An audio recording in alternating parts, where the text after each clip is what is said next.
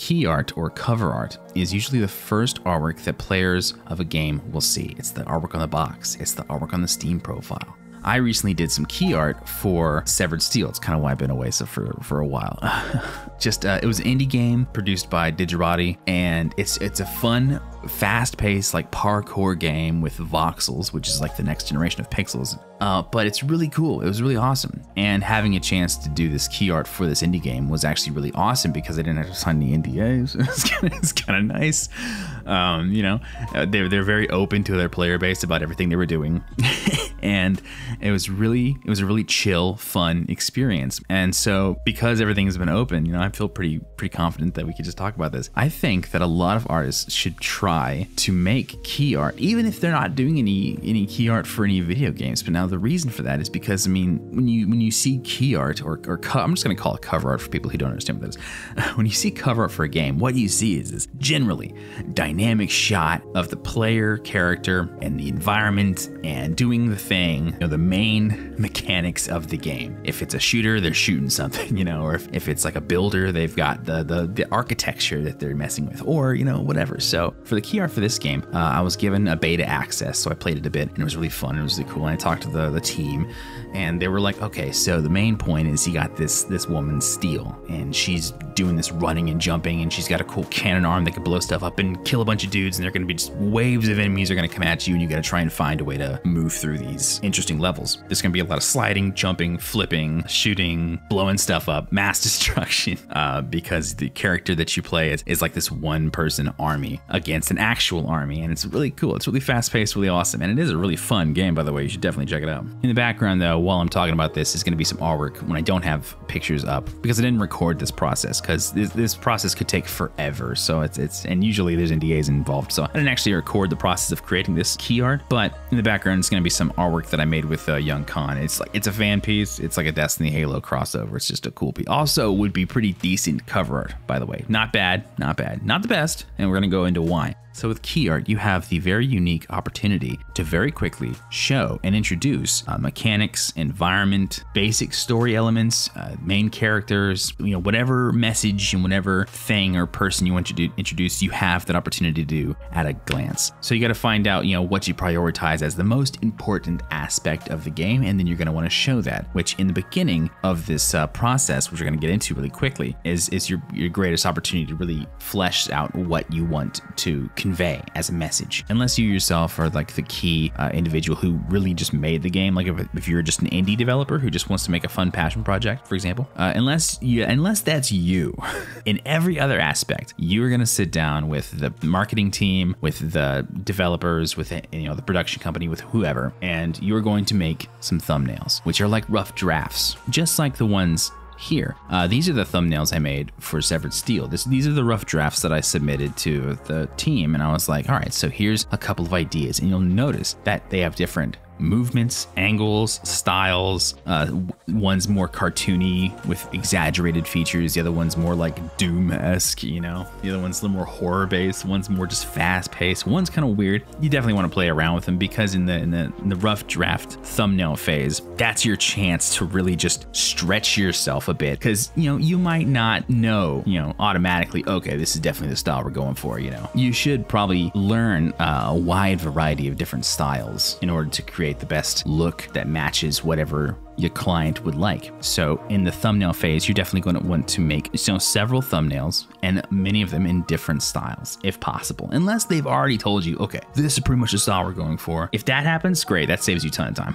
but if sometimes they don't know, you know, so you got to give them a little, give them a little love, give them a little leeway, and say, okay, so here's a couple of ideas. And so when you make these thumbnails, you want to not make them the same. Definitely make them different because, like I said, this is your opportunity to really stretch yourself. And if you give your client all these options and you say, okay. And, and, obviously, because these are fast, try not to spend more than an hour on each of them. If if even, I don't know. If, if you and your client have a really good working knowledge with one another and you've done this stuff before, that's usually much faster. But if not, then don't spend about an hour on them because you could spend a while in this phase. I know several professionals who spend like two full days on just three, four thumbnails just because they know their client and their client knows them and they know, okay, so this is definitely the style, but here's a couple of ideas for like camera angle, composition, balance, all that jazz. So if you're not on that level of like familiarity with your client, you're going to want to just make these kind of fast, just enough to really help convey because you know, you never know. So in these different styles, you want to make sure that the camera angle might be different. You want to make sure the mood might be different. Try and change up as many things about the thumbnails as you can. So if I was going to make another thumbnail, if I if, if I had to make like a sixth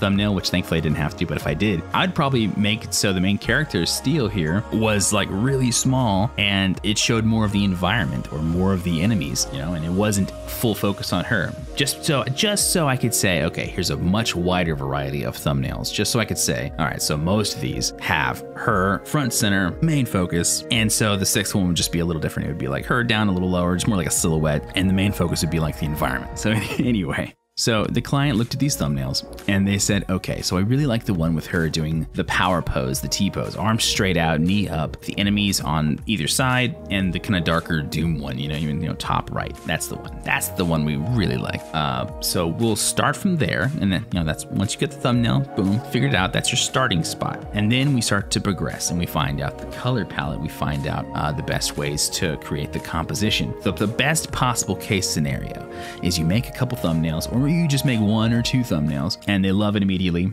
and you just draw, do your thing, and they love everything about it and you're golden from A to B and there's no moments of, ah, oh, you know, I think we should really try and change things up or I don't really know where the direction we're going, you know. Now, if you are, for example, trying to find an artist, you know, or an illustrator to make your thing, do not ever feel bad for wanting to change things up, for for wanting to uh, to try something else. If, if you're not satisfied with uh, the the pose, if you're not satisfied with the environment, if you're not satisfied with the characters, the colors, just make sure you tell your artist that as soon as possible. Really get it in there. Don't feel bad at all. Okay, if you're paying for the artist's time, then then hey, both you and the artist want to make this experience for the players as best as possible. So don't worry. And if you're an artist, which I imagine most people who are watching this are, um, don't feel bad. Don't feel frustrated or anything. It's a great opportunity and it's it's awesome whenever a director or a marketing manager or anybody comes at you and says, "Hey, look, I think it'd be really good if we, you know, X." And they're not an artist and you are, and both y'all, both y'all understand that. So don't feel like, "Oh my god,"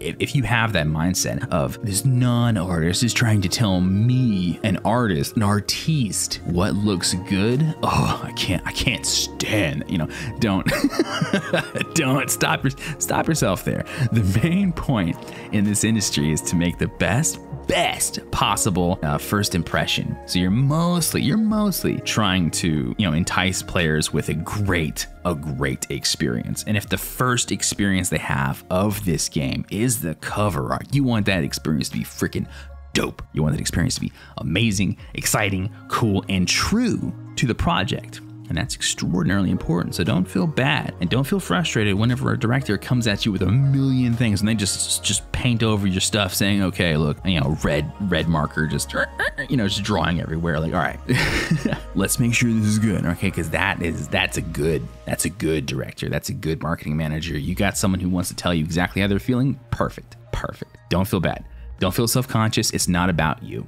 It's not. And it's not about them either, really. It's like I said, it's about the player. So, on that, uh, what happened at this point was uh, I grabbed a bunch of references. I shot a couple references because, you know, it, this pose is very interesting. So, I, st- I stood, I put my leg up on, on my chair and I set my camera to timer mode and I got, you know, like my props and stuff. Don't feel weird about it. Just do it. And like, I'm not, I'm not shaped like an athletically built murder machine of a woman. so, just, I mean, it's the pose that I really need to worry about, really. so, I put my camera kind of at the same distance as her and I shot the reference just so I can have something to work with. So I got the, the arms and the legs and it all kind of works. But I, you know, stretched a bit for style, which is still kind of nice. And, you know, I grabbed some references of like other poses like the kicks and the, the holding the guns and all that stuff. And then uh, they were like, hey, let's put some cool actual game footage uh, in there. So you'll notice in the upper area, there's like the lines, the action lines with the circle coming down. That's actually an area in the game. That's like an elevator shaft that you, you just like shoot straight through and shooting people all the way up and down it, which is really intense. So we put that in there. And then we just worked on the characters, you know, the, the environment because we needed the main focus to be her. And like I said, this is this is where we kind of figure things out. In the in the beginning stage when the thumbnail,